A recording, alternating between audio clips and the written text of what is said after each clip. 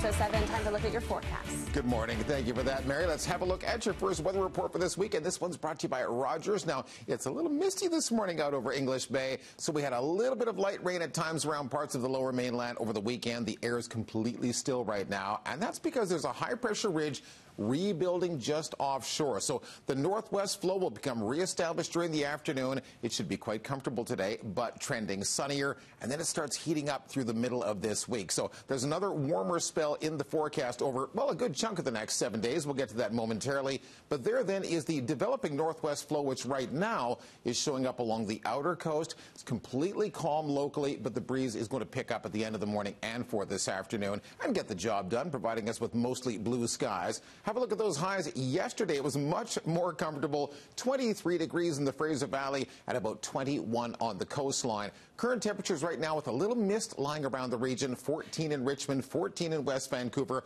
and a comfortable 12 in Chilliwack. Keep in mind the high we're aiming for inland today could get up near 27 degrees, but the breeze will make a difference by the water's edge. We'll have a look at that seven day picture. With today's high by the coastline, maybe 23 degrees, courtesy of the wind. Same script tomorrow into Wednesday. A little warmer on the beaches, a little warmer inland, sunny and up to 29. Now, we're not going to uh, heat things up for the entire seven day picture. Looking comfortable and uh, partly cloudy Thursday and Friday. That's a temporary blip, really, on the radar. There's no rain coming at all. It does remain dry. And the next hotter spell I see shows up for the weekend and beyond, and we will be well into the 30s about six or seven days from now.